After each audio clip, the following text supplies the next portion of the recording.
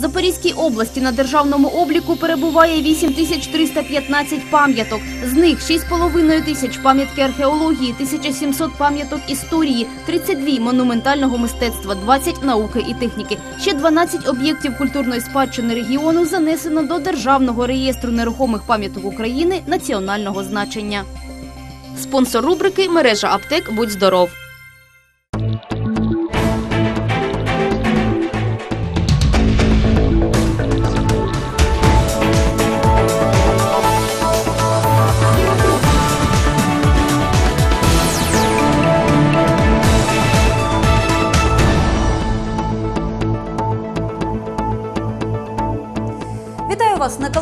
Перший робочий день тижня, понеділок, 17 лютого. Про головні події цього дня далі у випуску. У Мелітополі пенсіонерку, яку шукали рідні, знайшли на місцевому цвинтарі без ознак життя. 16 лютого до міського відділу міліції зателефонувала жителька та повідомила, що на кладовищі на вулиці Польовій вона знайшла тіло жінки. Правоохоронці встановили особу загиблої. В неї виявилась 77-річна пенсіонерка, яка нещодавно зникла безвісти. Причину смерті судово-медичні експерти встановити не можуть, адже тіло літньої жінки сильно погризли бродячі собаки. В Мелітопольській міліції цей факт не коментують. З неофіційних джерел стало відомо, що пенсіонерка мала проблеми із пам'яттю та сама пішла з дому. Чи померла жінка своєю смертю, чи її все ж таки загризли тварини, доведеться встановити правоохоронцям. Нагадаємо, проблему бродячих тварин в Мелітополі місцева влада намагається вирішити за допомогою будівництва притулку для тварин. Це питання двічі виносилось на розгляд міської ради.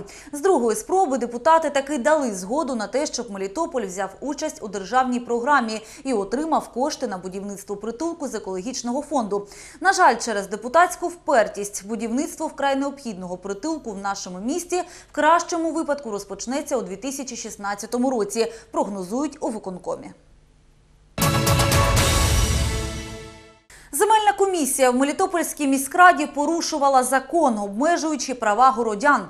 Такий висновок зробила депутат міськради Марина Сажнева. Члени земельної комісії фактично перетворилися на закритий клуб з розподілу далеко не безкрайніх міських земель, замінивши собою всю міську раду. І така система існувала довгі роки. Нагадаємо, беззмінним секретарем міськради з 2002 по 2010 роки був нині підсудний мер Мелітополя Сергій Вальтер, який, судячи з усього, просто закривав очі на те, що в керованій ним міській раді грубо порушувався закон про місцеве самоврядування. Насколько мне известно, вопросы, поступающие в земельную комиссию, рассматриваются. Часть вопросов согласовывается с земельной комиссией и поступает к нам с вами на сессию, и мы здесь голосуем. Часть вопросов не согласовывается с земельной комиссией, и заявители получают отказ. Я считаю, что такое решение земельных вопросов незаконно. В соответствии с пунктом 34, часть 1 статья 26 Закона Украины про местное самоуправление Украине, вопросы регулирования земельных отношений решаются э, исключительно на сессиях городских, э, местных советов. Поэтому, когда земельная комиссия не выносит на сессию э, любой вопрос, с которым обратились жители города, значит, она своим решением э, нас с вами отстраняет от решения вопроса, который мы обязаны решать. Примітно, що нинішній голова земельної комісії Геннадій Каламбет підтвердив факт порушення законодавства членами земельної комісії. Більш того, за словами Геннадія Каламбета, така, як він висловився, система розподілу землі існувала в Мелітопольській міськраді довгі роки. Дивно, але з приводу порушення закону членами земельної комісії ні словом не обмовився Олександр Барибін, який очолював її раніше. Мовчав з цього приводу і завжди активний депутат, голова комісії законності та депутатської етики Сергій Коломієць та інші члени земельної комісії, в числі яких принциповий депутат комуніст Максим Зубарев. Мабуть, така схема була вигідна для міських парламентарів, наділених владою розпоряджатися землею. Адже не для кого не секрет, що пересічному громадянину Мелітополя отримати належні за законом 10 соток під будівництво будинку практично неможливо. Складається таке враження, що існуюча процедура виділення землі працювала на відсів сторонніх. А той, хто виявлявся здатним оформити землю в місті, часто перепродавав отримані ділянки. Представники Представники нинішньої влади обіцяли поламати стару схему земельного розподілу. І ті питання, по яких члени земельної комісії відмовили заявнику, тепер теж будуть виноситись на розгляд міської ради до сесійної зали. В настоящее время значит, э, земельная комиссия совместно с управлением коммунальной собственности, совместно с э, заместителем э, городского головы Горбачевым Константином Петровичем решает вопрос о проведении всех этих вопросов э, соответствующее русло. С следующей сессии буквально я, как председатель земельной комиссии, обещаю, что мы введем такую, такое правило, правильно говорю, Константин Петрович, что у нас будет такие решения. Если даже будет делиться не прошел, не прошел вопрос, будут два выноситься решения. Вопрос прошел, вопрос не прошел. Близько двох сотень мешканців Мелітополя побували на особистому прийомі громадян у секретаря міськради, виконуючого обов'язки міського голови Андрія Чапи за час його канденції. Всього очільник міста розглянув понад півтори тисячі звернень від мешканців Мелітополя, в яких найчастіше порушувалися питання комунального господарства, соціального захисту, житлової політики, транспортного обслуговування. Сьогодні городяни у черговий раз завітали на особистий прийом до керманича міста. Що більш за все турбує мелітопольців та як оперативно влада вирішує їхні питання, з'ясовувала наша знімальна група. Костянтин Колесник частий гість у виконкомі. Вже довгий час він намагається домогтись ремонту тротуару, що розташований біля його будинку на проспекті Богдана Хмельницького, 66. Кожного разу, коли йде дощ, скаржиться чоловік, тротуаром просто неможливо ходити. Колись надію на вирішення даної проблеми Костянтину Івановичу подарував колишній заступник міського голови Юрій Онищук. Він навіть запевнив пенсіонера, що дане питання вже доручено відповідним спеціалістам. Але насправді виявилось, що чиновник вів пенсіонера в оману. Я был у Онищука на, на приеме, и Онищук тоже все это поручил Лачко. Был какой-то Лачко, у меня есть письма все эти, он в архитектуре, что будет вся документация выполнена, и в 2013 году будет сделан тротуар. Когда я обратился, это было где-то осенью к Лачко, а у него ничего нету, никаких документов нету. Теперішній керманич міста Андрій Чапа годувати обіцянками пенсіонера не став. Однак запевнив його, що протягом тижня буде скликана комісія, яка розгляне всі проекти, що є в наявності, в тому числі і по Богдану Хмельницькому 66. В цьому році зазначив виконуючий обов'язки мера в міському бюджеті передбачено мільйон гривень на ремонт прибудинкових територій. Цієї суми вистачить на оновлення покриття чотирьох-шести дворів багатоквартирних будинків. Будем идти от худшего. Где самое на- на- наихудшее состояние, приоритетность будет там. Независимо от того, в каком районе находится этот дом. И на ваш дом тоже выедем, посмотрим э, сегодняшнее техническое состояние, что там есть асфальтное покрытие, нету его. Тетяна Рігіна прийшла до очільника міста просити допомогти у виділенні житлових приміщень. Вона є старшою будинку на вулиці Дружби 222. І саме завдяки її ініціативі та злагодженій роботі спеціалістів виконкому на чолі із Андрієм Чапою зрушило з мертвої точки питання зміни статусу гуртожитку на житловий будинок. Андрій Чапа пообіцяв активній мешканці міста усіляке сприяння з боку виконкому у вирішенні її подальших проблем. Благодаря вашей инициативе, вот такой активной позиции вашей, вот этот вопрос был издвинут. Пользуясь случаем, благодарю вас за это и э, обещаю вам, что я, комиссия будет максимально, максимально постараемся удовлетворить ваши пожелания. Хорошо? Пожалуйста, до свидания. Розуміння з боку очільника міста знайшла і приватний підприємець, оскільки жінка є годувальницею родини, адже чоловік є інвалідом і переніс вже декілька інсультів. Їй необхідно була згода на торгівлю неживими квітами на одному з ринків міста. Я никаких проблем не вижу. В следующий раз, в следующем году уже просто не ждите там очередного понедельника, в рабочем порядке приходите, мы порешаем. Хорошо?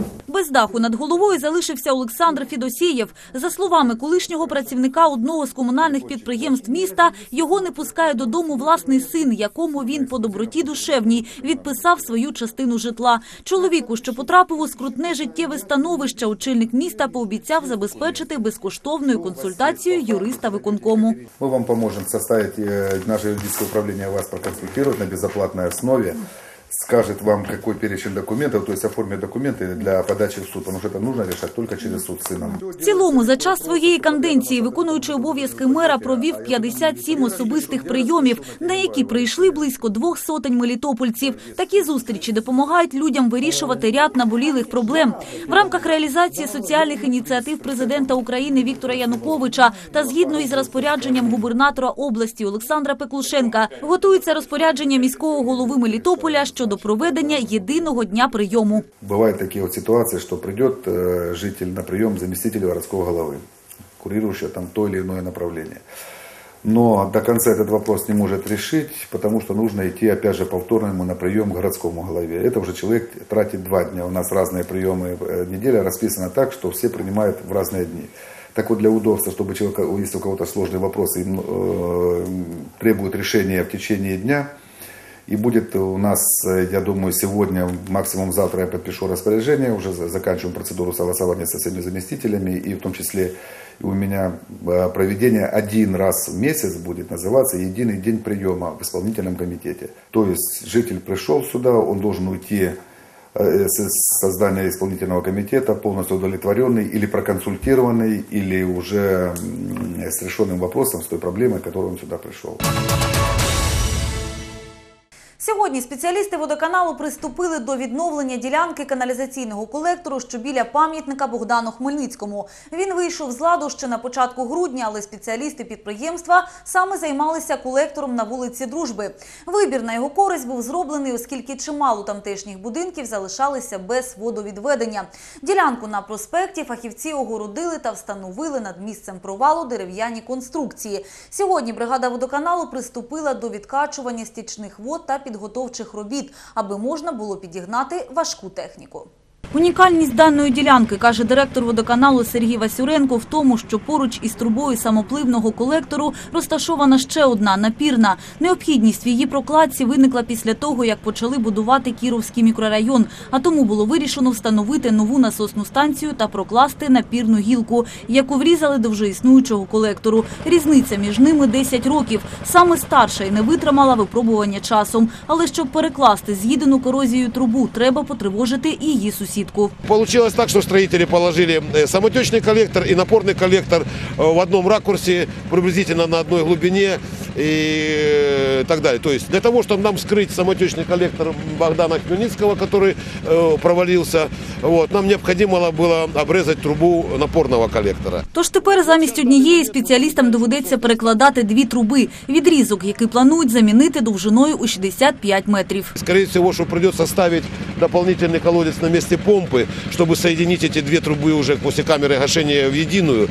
Вот, и положить новую полиэтиленовую трубу ну, уровня 400 мм не ниже. За словами директора підприємства Сергія Васюренка, дані роботи обійдуться більш ніж у 65 тисяч гривень. Спеціалісти підрахували, якщо перекладати колектор самостійно, один метр коштуватиме від однієї до півтори тисячі. Якщо скористатися послугами підрядника, доведеться викласти космічну суму від 2,5 до 6 тисяч за метр. Тож, як завжди, КП обходиться своїми силами. Даний колектор, протяжність якого більше семи кілометрів, виходить з ладу дуже часто, причому відразу в декількох місцях та в шахматному порядку. На заміну колектору за проектно-кошторисною документацією потрібно 36 мільйонів, яких в підприємства немає. Водоканал сьогодні вроде самостійно самостоятельно з цією проблемою. Там, де провалилось, вот, там ми перекладаємо. Директор водоканалу сподівається, що завершити перекладку труб вдасться за два тижні та звертається до жителів із проханням не наближатися до місця проведення робіт, адже глибина котловану буде сягати більше шести метрів.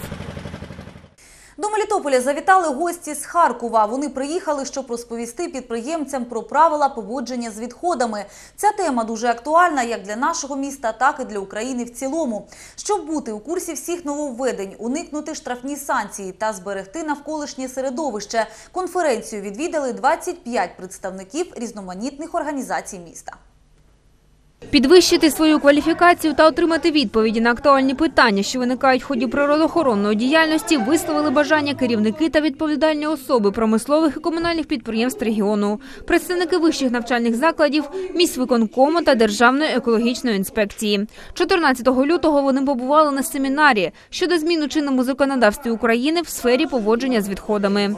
Такий захід відбувся за ініціативою і при активній підтримці міської влади. С 1 ноября 2013 года э, вступили в действие новые м, изменения э, с- природоохранного законодательства.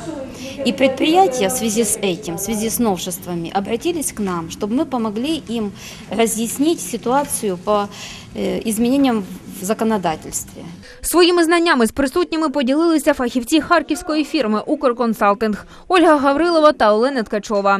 Вони підкреслили, що дотримуючись вимог законодавства, підприємці зможуть не тільки уникнути штрафних санкцій, а й знизити негативний вплив виробництва на навколишнє середовище. И мы хотели бы выразить такую благодарность вашему, э, вашим местным советам, э, этой организации великолепной, которую они, работу эту огромную, которую они провели. Предприятия э, постарались проконсультировать, и, ну, надеюсь, что они довольны. Дивлячись на те, що в останні роки спостерігається тенденція до збільшення обсягу утворених і вивезених відходів, подібні семінари дуже актуальні. За словами присутніх, більш змістовної конференції з цих питань вони ще не чули. И я очень благодарна, что это состоялось. И я получила ответы на все свои поставленные вопросы. Абсолютна більшість мелітопольських студентів вважає, що події на Євромайдані в Києві їх не стосуються. На пасивність місцевої молоді і взагалі більшості мелітопольців скаржилися мітингувальники, які вже вкотре зібралися у неділю у півдні біля пам'ятника Тарасу Шевченку. Цього разу на площі у центрі міста з'явилося близько 80 прихильників Євромайдану. Їхній склад практично не змінився. Цього разу мітинг проходив у форматі вільний мікрофон. Свої думки вголос висловлювали усі бажаючі учасники мітингу. Говорили про різне. Так мешканець села Костянтинівка поскаржився на районних чиновників. Ті зі слів оратора відключили йому воду, так як він заборгував за вивезення сміття 300 гривень. Інші виступаючі критикували чинну владу, вимагаючи її відставки. А лідер місцевих ударівців демонстрував присутнім кулі, привезені з Києва, і розповідав, що їх нібито застосовували проти демонстрантів. На завершення зборів організатори майдану пообіцяли зібрати людей в наступну неділю на тому ж місці в той же час. Четверо дітей, сім онуків, шість правнуків і дві праправнучки. Це спадкоємці Валентини Бобрової. 15 лютого бабусі Валентині виповнилося 100 років. Героїня нашого сюжету мешкає в Мелітополі. Проживши ціле століття, іменинниця і сьогодні бадьора, її люблять і поважають близькі та рідні. З ювілеєм винуватицю свята цього дня вітали її діти, онуки, правнуки, а також депутат дільниці Іван Пашко та заступник міського голови Ірина Донець, яка передала іменинниці квіти і вітальну адресу від президента України Віктора Януковича і виконавчого комітету. От имени исполнительного комитета Мелитопольского городского совета мы тоже поздравляем вас, вам потом дети ваши прочтут вам ваш, ваши поздравительные адреса. Днем рождения вас! Народилася довгожителька в селищі Спаське Мелітопольського району. Свого часу працювала на будівництві Дніпрогесу. Під час війни в евакуації в Середній Азії на заводі з виробництва крохмалю. У голодомор 1921-1923 років загинули майже всі близькі Валентини Бобрової. З шести дітей вижили тільки вони вдвох з сестрою. Говорила, вот ее, получается, ну, тет, тетя родная, родная по отцу. Грудной ребенок умерла от голода мать. И грудной ребенок ползал, ползал по ней, пока и.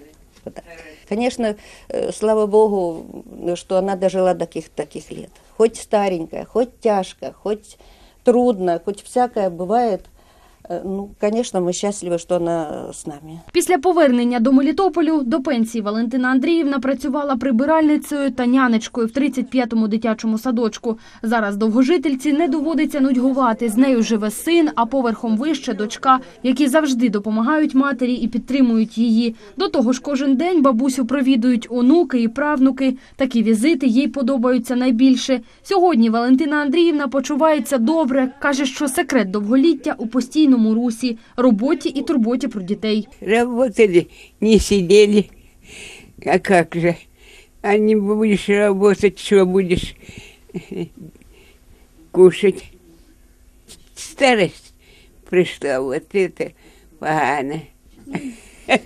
Валентина Боброва народила і виховала чотирьох дітей. Сьогодні її рідня налічує семеро онуків, шість правнуків і дві праправнучки. Багато хто з них прийшов в цей день до рідної матері і бабусі з квітами та подарунками і теплими словами побажання міцного здоров'я та довгих років життя. Бажаю всім здоров'я та злагоди. Далі спортивні новини. Я прощаюся. До нових зустрічей. Нехай щастить.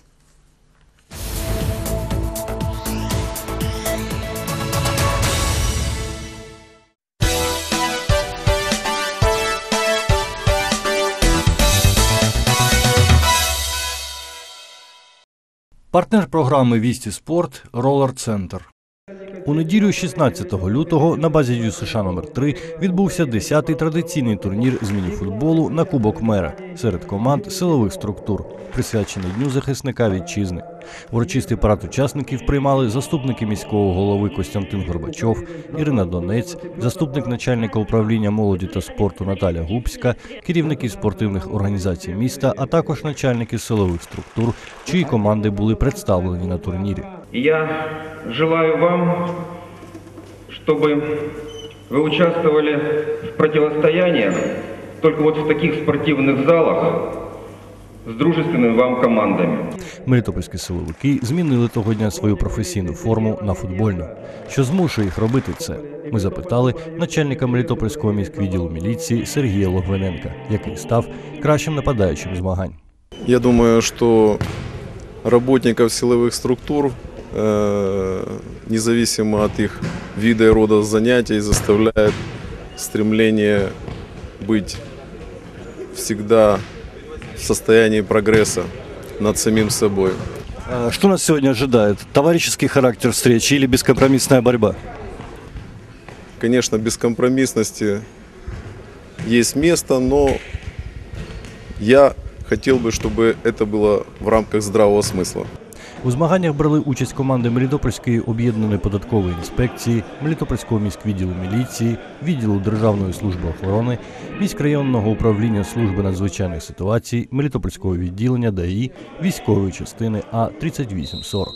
Змагання, як і обіцялось, пройшли в безкомпромісній та жорсткій боротьбі, але при взаємоповазі до суперників, як і личить тим, хто стоїть на варті закону. Перемогу в турнірі здобула команда міськрайонного управління надзвичайних ситуацій. Друге місце посіла команда міськвідділу міліції. Третє дісталося відділенню ДАІ. Окрім вже згаданого Сергія Логвиненка, кращими гравцями турніру стали також воротар В'ячеслав Тюрин з команди автоінспекторів та захисник Артем Лещенко з управління надзвичайних ситуацій. Призери були нагороджені кубками та медалями. Всі учасники змагань отримали почесні грамоти управління молоді та спорту.